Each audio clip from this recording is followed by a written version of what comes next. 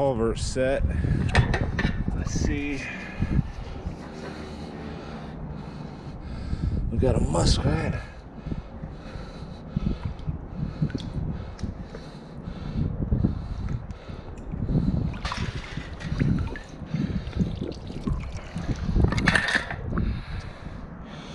Yep, sure do. Get him out of here. Not bad. A lot of times they run through these uh, culverts, and you know I've been catching them in here when I can't catch them in the holes. So uh, you know, culvert is a good good place to connect and a good spot to get rats. So um, always hit your culverts up. Do a bottom edge set in them, or uh, in this case I just sunk a 110 down on the bottom so um, all right not well, bad start. coon. he got caught in the snare. Um, got him sitting here. Cinnamon color not a bad one. I go ahead and take him and move on down the line. All right. So we got a muskrat colony right here. Two rats. All right. Moving on. Little spot right here.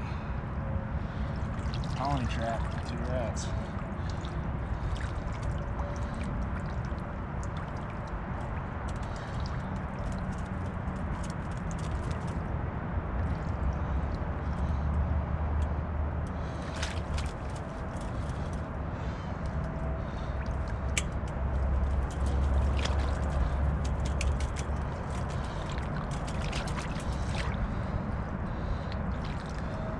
Big ones.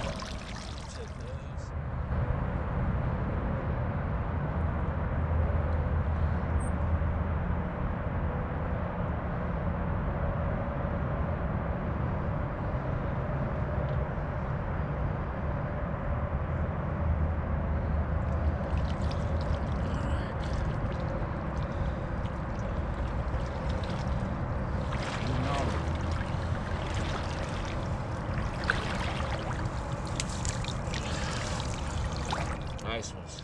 Here we are, a little feed bed set. We got a rat floating. Right there's a little feed bed. They come up right there.